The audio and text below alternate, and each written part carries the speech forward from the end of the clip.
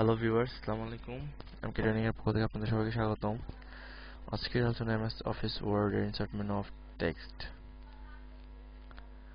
so viewers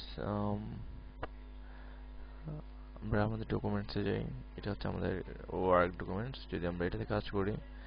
ফার্স্টে আমি যদি আমার ওই লেখার মাঝখানে কোনো টেক্সট টেক্সট রাখতে চাই, তাহলে আমি যদি এটাতে ক্লিক করি, এটাতে অনেক ধরনের টেক্সট স্টাইল রয়েছে। এটা সিম্পল টেক্সটাইল এই যে আমার লেখা মাঝখানে এটা চলে আসছে। সো ভিউয়ার্স এখানে আমি ইচ্ছে করলে আমার ডকুমেন্ট ডিলিট করতে পারি। ভিউয়ার্স আপনার ইচ্ছে করলে এখানে যে কোনো ধরনের টেক্সট রাইট করতে পারেন এভাবে অ্যান্ড দেন রাইটটাকে আপনারা এই ফরম্যাট থেকে আপনারা এডিট করতে পারেন। এই যে ফরম্যাট ফরম্যাট অপশনটা চলে আসছে, এখান থেকে আপনারা এডিট করতে পারেন। যাকে এটা আমি পরে আলোচনা করব। এটা আমি আলোচনা করব আপনার সাথে কারণ এই টেক্সট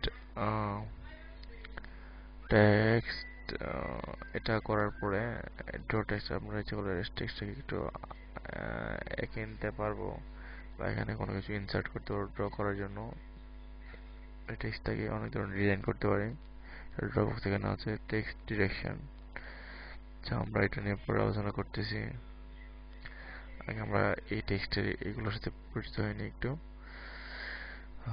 এটা হচ্ছে যে কুইক পার্ট আমি পূর্বে এটা নিয়ে আলোচনা করেছিলাম এটা হচ্ছে ওয়ার্ড আর্ট আমার স্টাইল আমি যদি এটাকে সিলেক্ট করে আমি একটু স্টাইল করে লিখতে চাই, ধরুন এটা দিয়ে লিখব আমি এটাকে, ব্যাস যেটা আমার স্টাইল হয়ে গেছে।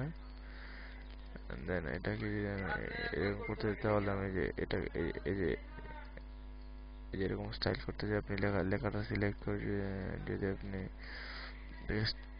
স্টাইল করতে চান তাহলে এভাবে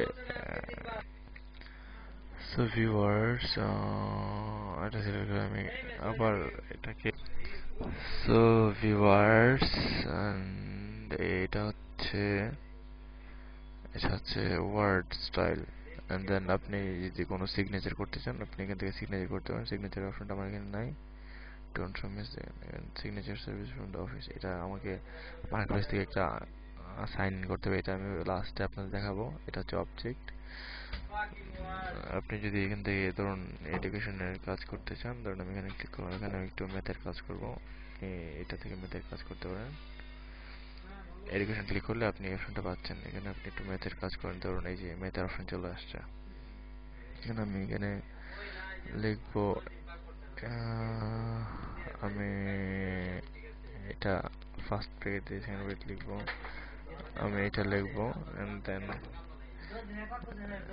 তারপরে আমি এটা সেরে দিলাম। এখন যদি আমি সাম দিয়ে করি, যাই হোক, এটা আমি করব না। এটা হচ্ছে যে আপনার বাই and then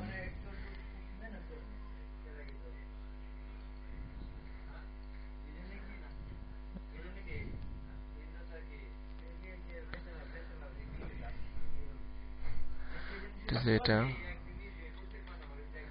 তারপরে এভাবে আপনার এখানে চলে এটা এটা হলো মেথের কাজ করতে পারেন যদি আমরা এভাবে মেথের কাজ করতে পারি।